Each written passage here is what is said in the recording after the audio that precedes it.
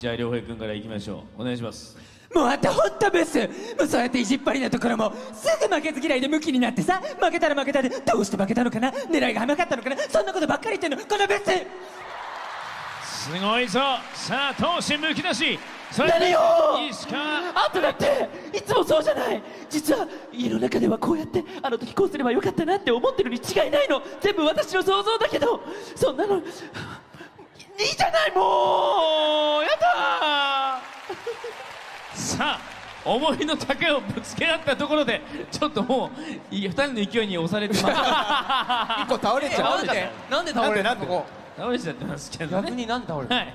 じゃあえー、開始位置についていただきお好きな週をお選びください、はい。下から上からどうぞ。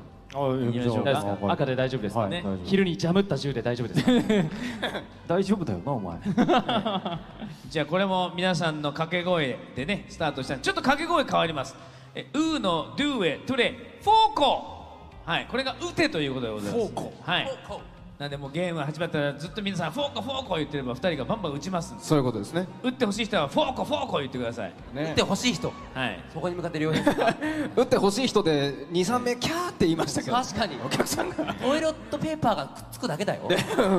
濡れたトイレットペーパーがくっつくだけよ。ビチョってくっつくだけです、うん。いいですね。ではお二人とも準備よろしいでしょうか。参りましょう1回戦木村良平 VS 石川海人。皆さんコールお願いします。せーの。ウーノドゥエトゥレフォーコ早く倒した方が勝ちです。早く2枚倒した方が勝ち。さあおっと木村良平赤い球が飛んだところで意外と倒れない。おどうだ？お1枚倒れた。良平一歩リード。おそして石川海人落ちてた。さあ先に倒すな。お石川海人がどうだ？先に倒すな。着弾が銃の弾の装填おっとない。さあどうだ？あこれ面白いなおっと結構ここで勝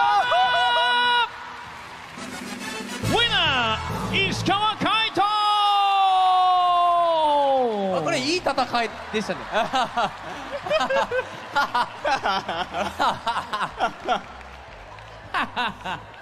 お見事でございます。すげえいい勝負。昼の部の雪辱を果たせましたね。ね。あのマイマイクを持ってえ勝者の海斗君いかがあね。どうですか？惜しくも負けてしまった良平君いかがでしたか？大いには勝てないなと。思いますそうおい。年関係あんだこれ。